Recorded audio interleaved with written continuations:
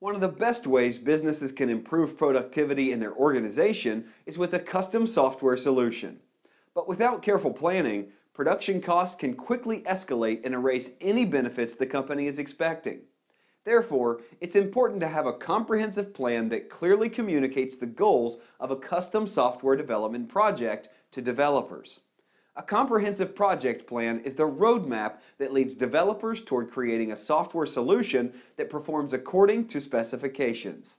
It should explain all of the ideas, features, and functions that are to be included in the application, as detailed as possible. If this sounds complicated, some software development firms have a project template clients can use that will make it easier to define the project and facilitate a plan. Ensure your custom software development project is a success. Visit us online today at encloud.com.au. That's encloud.com.au.